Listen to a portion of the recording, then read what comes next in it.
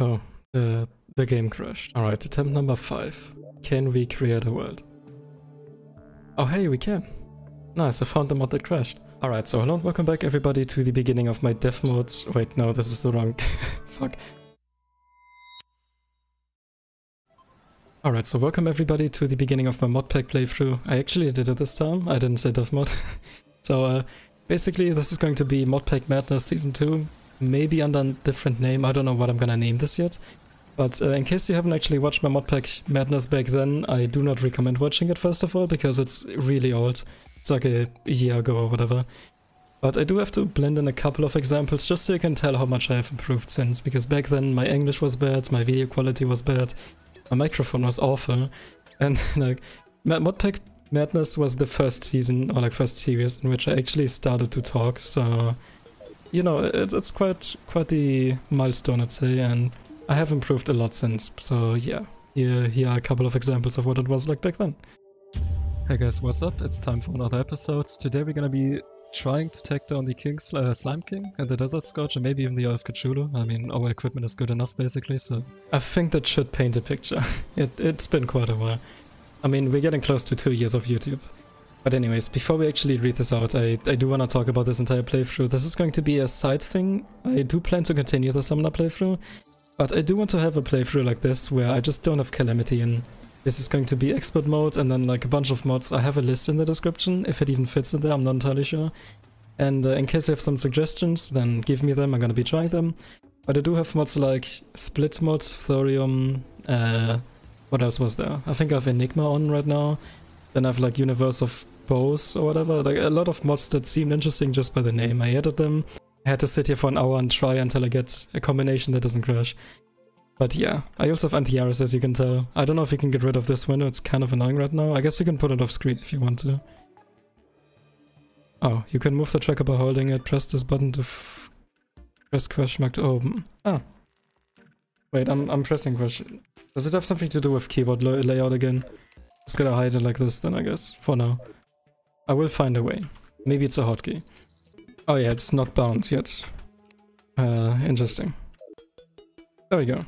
But like I said, this is going to be a chill playthrough. I'm just gonna put my main focus on being creative, editing, and just adding more to the playthrough than playing, if you know what I mean. So this is going to be interesting. I am looking forward to this, and hopefully you are too. This is definitely going to be a different side from me, because I do feel like one of the main reasons I had all of those like debates that I had in my last videos and like the entire thing about uploading lists and you know that kind of stuff was because I was getting burned out not by Terraria but by Calamity, especially because of the entire dev mode escapades because I don't enjoy dev mode as much as it like used to anymore. I don't agree with most of the I don't know changes I guess ever since uh, I used to play it back then. So I feel like this is going to be basically reviving my interest in Calamity, oh, Terraria. And I'm looking forward to it, definitely. It's gonna be a fun, fun experience again. Plus it should give some memories for those people that were actually around when I did Modpack Madness Season 1, which is such a long time ago, I, I can't even believe I've been doing YouTube for that long. Anyways, I'm seeing two new enemies. I see a boar and a living blue. The boar's peaceful, so I'm not gonna attack it. I guess he isn't. No, he isn't. Alright. And let's get rid of him. I do kind of want to kill the boar though, just to find out if he has some special drops. I think he's from wildlife, probably? Not entirely sure. But who knows, maybe he drops something interesting that's actually worth getting. You know, let's find out. Oh yeah, he he gets he gets mad. There we go. Yeah, he dropped leather, I mean, not bad. Can't hurt to have that. Especially because I saw something about like a utility kit that you can craft out of the magical hammer. Uh, yeah, it requires 4 leather, iron bars and wood. Shouldn't be too hard to get. And then there was one more thing I wanted to do. Oh wait, we also got a bacon. Oh wait, I'm kind of confused right now. Oh wait, no, okay, yeah, so I didn't get the uh, bacon from him, but basically I had a previous recording attempt, uh, like 10 minutes ago, and I went into a cave to realize that there was some ore that wasn't loaded because some of the mods unloaded for some reason. It's kind of a struggle to have this many mods or like many content mods. And uh, I forgot to make a new character. But hey, I mean, I literally only had, what, like, another hammer. Just gonna delete this so we don't have it twice. And yeah, a big, I mean, come on. That doesn't matter, right?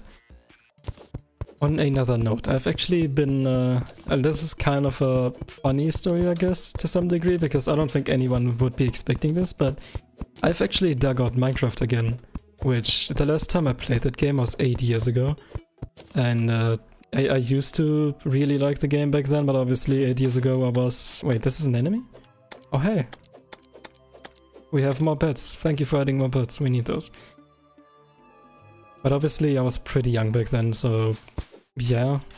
I do have to say though that the game has changed a lot and I had some, like I put some shaders on, I put the, I don't know what, what the texture pack is called again, I will show some clips of what it looks like. But the game looks so good with like shaders and actually high quality settings. I, I could never run those back then so I had no idea what it looked like. But now that I can, I am actually enjoying the game. It's kind of like a chill time for me when I just want to calm down and, you know, not play anything that actually takes something out of me. That's a good way to put it. I'm not sure. But it is a chill game, and I will definitely play it on the side. I was thinking of maybe, and I'm not entirely sure yet if I will do it or not, but I was thinking of maybe making like a chill Minecraft playthrough as well on the side. I need to kind of save myself here. Wait, no, I think I'm safe. Uh, blocks. I need blocks. Yeah, I'm not a big... No! really? What? Ghost? Uh... Yeah, that was... I, I honestly didn't see the statue. That was... Yeah.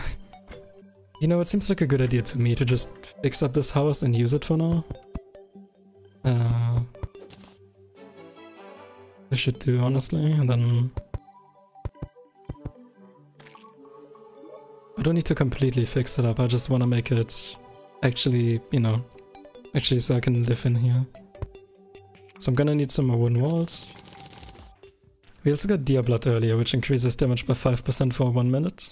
It's a wildlife thing, and recall potions. And the leaf which I didn't even look at. So it restores 10 HP. Wait, no, it restores 1 health per second for 10 seconds. So 10 HP, 5 times.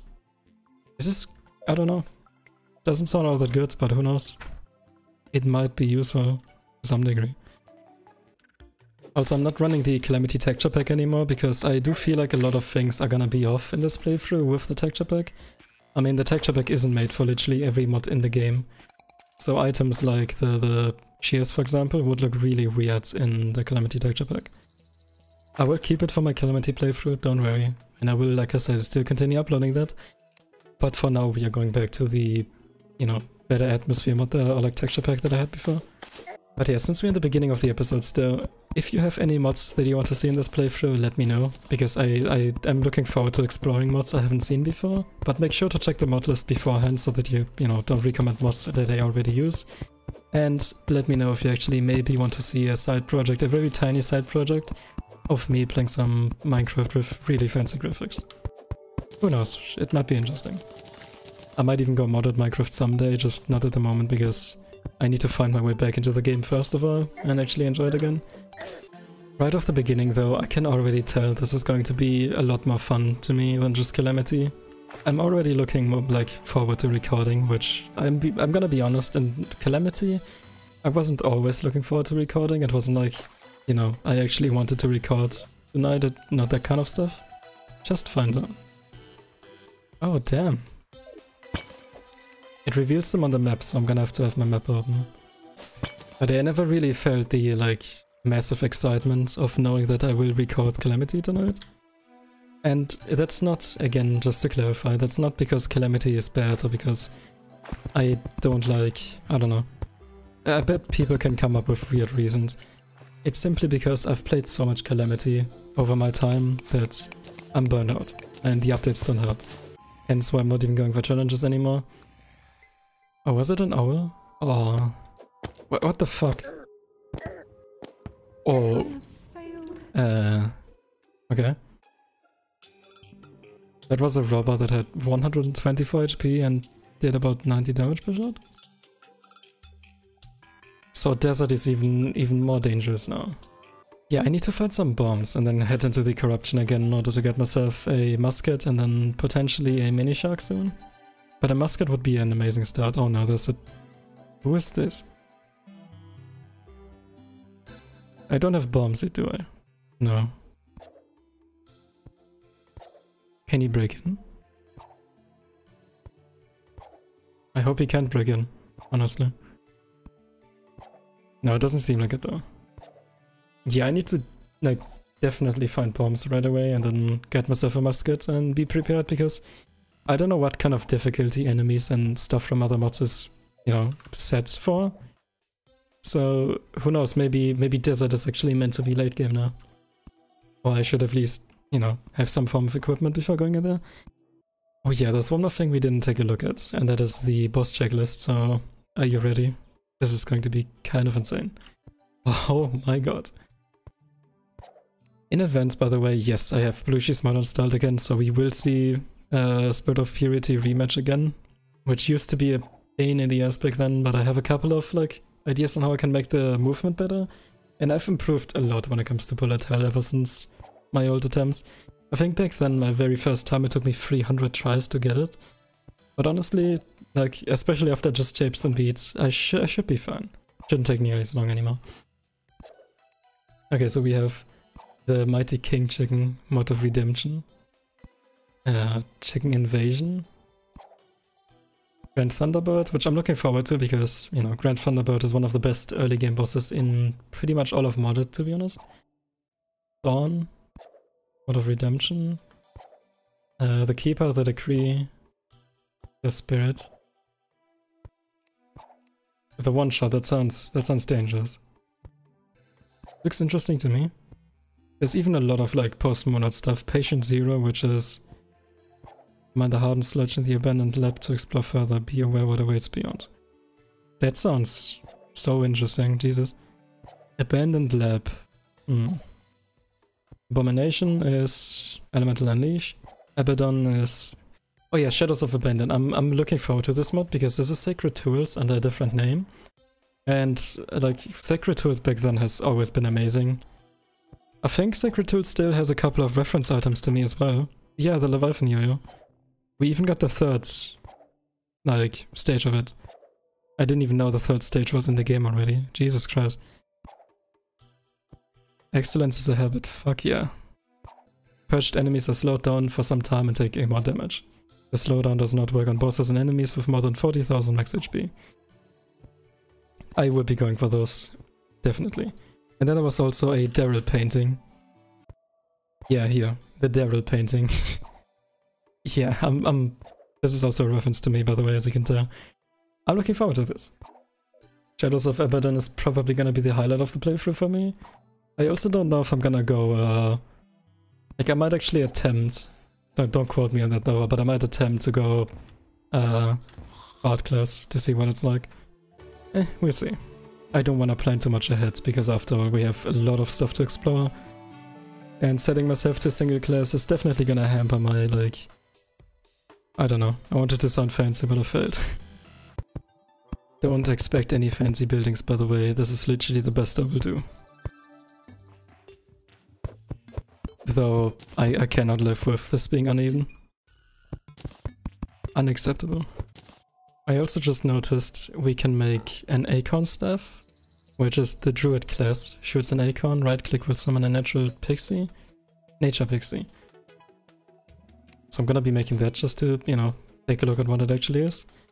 We can make a leather pouch, which you can craft seed bags with. Arcane Dust, which we need later on. I think this is one of the things we need to summon... Oh, I forgot his name already. Uh, Grand Thunderbird.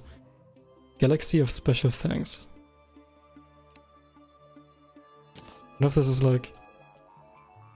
This is just an item, like can I, I can place it, I guess. Hmm. And then there was one more thing. Uh, Wand of Sparking you can actually craft. I don't know if... I don't actually know if this is vanilla or not, to be honest. I have never crafted this weapon before. I also don't want to make the first episode too long in case you guys have some, you know, significant ideas for mods. so that I can add them right away and we don't have to like restart the playthrough from really far within. So if you have any mod ideas, like I said earlier, let me know. And even if it like affects World, and I might just recreate this world. Because at the moment we are not too far. The first episode is gonna be really slow compared to anything else, so brace yourself. I do plan to have a slow, just like, you know, progress in this as well though, because I prefer it, and in my last playthrough I could tell that you guys prefer it as well. What is that buff that I have right now? Nature's Guardian cooldown, you cannot summon Nature's Guardian. Oh, it has a... Oh, yeah, okay, that makes sense. Cooldown seems like a good way to balance it. Even though the damage itself is already kind of a balance. And we have the 11 HP shield as well.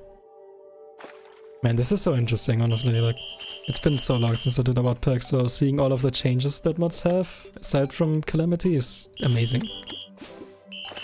I should have done this earlier. Anyways, I, like I said, didn't want to make the first episode too long. I just wanted to give you a brief, I guess, you know, preview of what to expect is a good way to put it.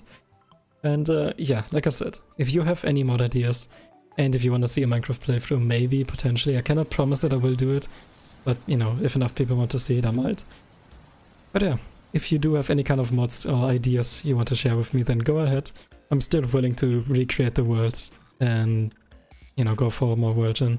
But it has to be a mod that doesn't crash, because I had a couple of mods that ended up crashing, as you saw in the beginning.